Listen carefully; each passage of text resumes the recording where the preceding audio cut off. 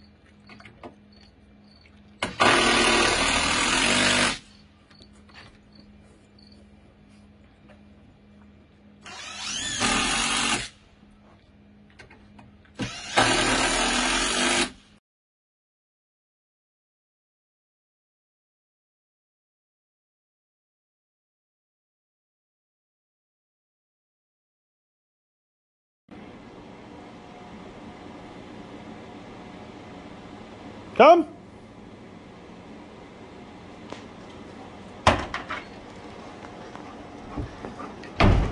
Good boy.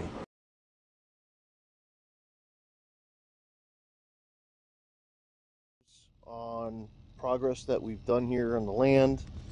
Um, it's been over a year we've been here, caught up in the pandemic and the costs of lumber and everything, and then all the town nonsense. Um, we finally are able to get the green light to build. Um, in this video, I'm going to cover just a couple things on the land that we've done previously. I haven't done any videos, so here we go. We uh, we dug out and cleared the land uh, last year. We've done roughly cut out of the driveway, um, just the beginning loop, which I'll show you in a moment. And then it's going to extend out towards the house once we get the foundation in and I get all my grades. So here is the loop.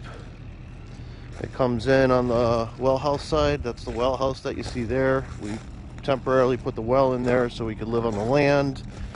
It comes down over to the the actual well itself and when the house goes in in the back there I'll extend the line from there to the house. There'll be two lines. The well will be moved into the house.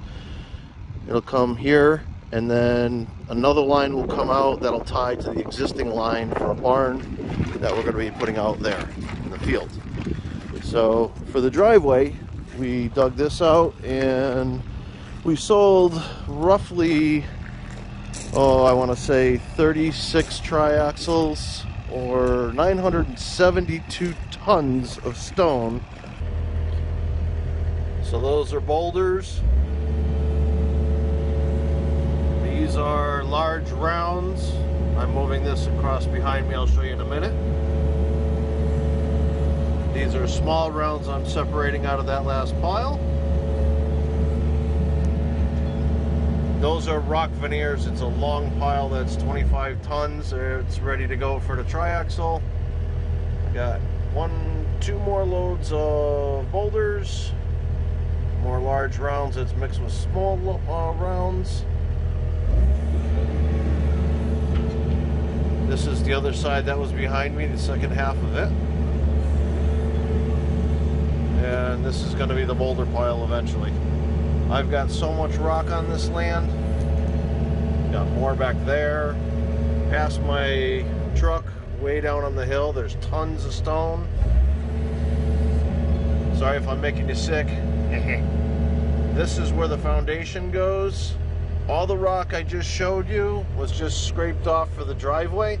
I have to dig all of that out still, and there's going to be tons of boulders my buddy's over here um, doing pallets of uh, flat stone. We have the uh, Um, University of Connecticut, they just took eight of those pallets.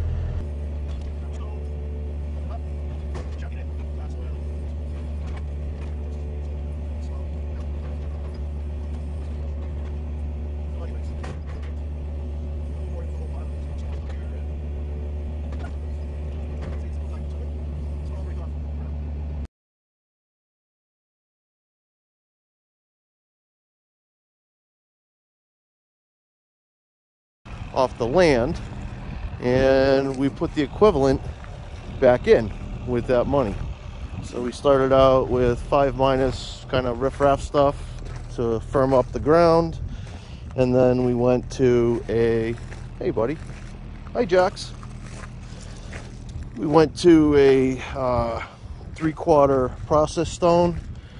The driveway is going to end up roughly 375 feet on each leg. It's going to come in and it's going to be a circle up in the back here around the well and in front of the house. So that's the driveway component. We kept all the lumber here. We didn't really get the pricing we wanted to sell it off, so I kept it. I bought a Woodland Mills uh, sawmill. That's paid for itself. Um, and it helped us through the winter. Inside this is our RV that we're living in. And we've been here for over a year. Amazingly, we're still married happily and moving forward. If you can't live together in a camper, you definitely can't stay married. That's for sure. So this is all 3 8 pine. Had a neighbor give me some pine wood that I didn't care about. Milled it all, and this whole thing is screwed together so I can unscrew it, take it apart, and take it down.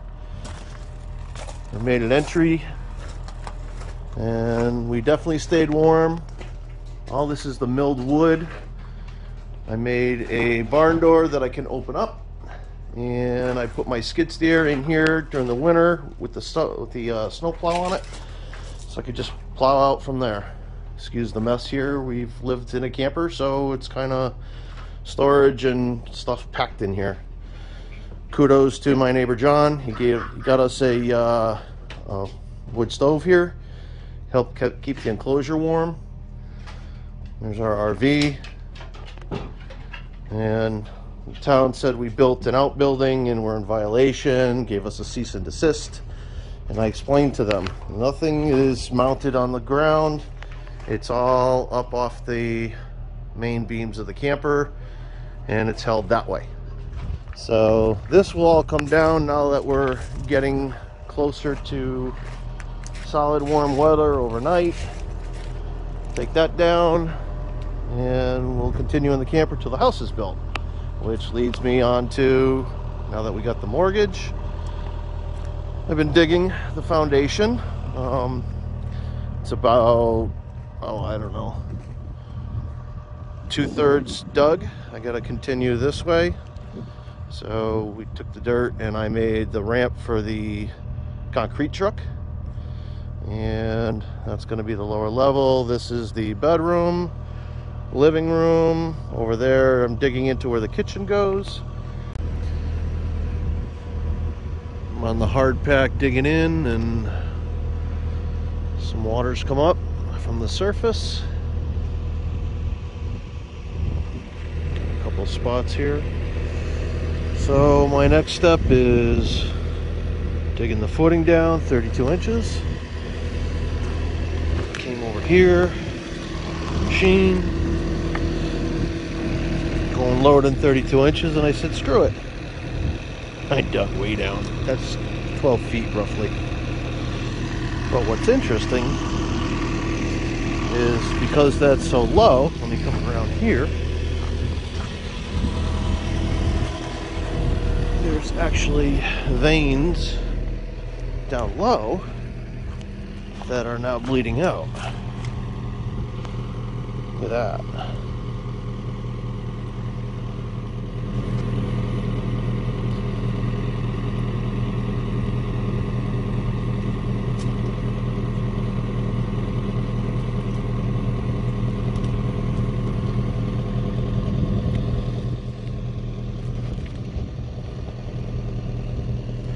So I'm anticipating put a big flat stone there. I'm anticipating this remaining. That's all going to collapse, and I'll get my sump in here and suck it on out. My foundation area will stay dry.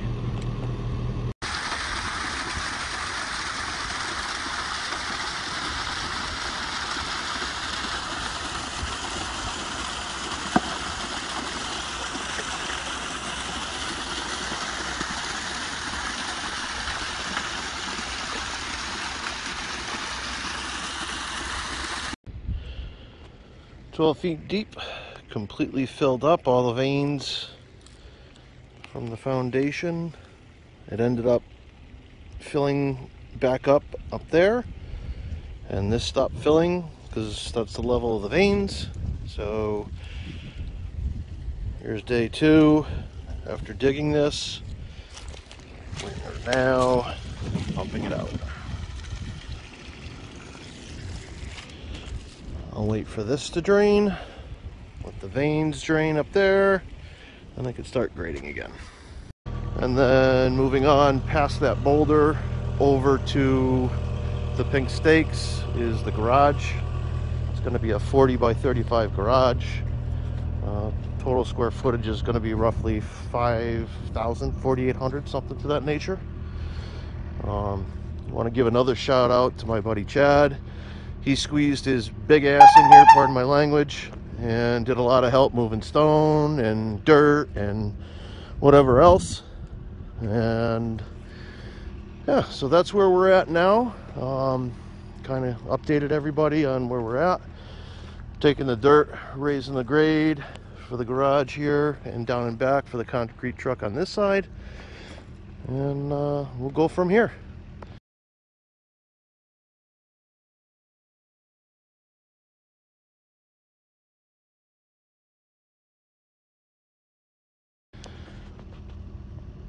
We'll catch you on the next one, guys.